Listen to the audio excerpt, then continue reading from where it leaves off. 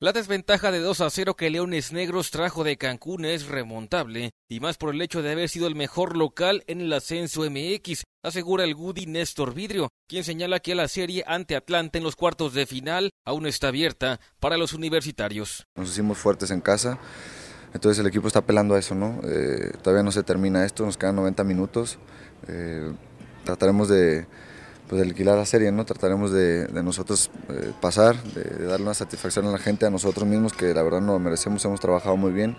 Creo que podemos eh, en casa dar la vuelta. Vidrio Serrano también comenta lo que se ha trabajado en la semana y cómo espera el duelo de este domingo ante los Potros. El profe simplemente eh, trata de, elegir a los mejores 11, tratará de ver qué nos falló de parte de de ellos como cuerpo técnico. Nosotros simplemente tenemos que matarnos como lo hemos hecho cada partido, cada domingo en casa y que les cueste cada día más eh, venir al Estadio Jalisco y bueno, ahorita no es de puntos, pero les va a costar bastante eliminarnos.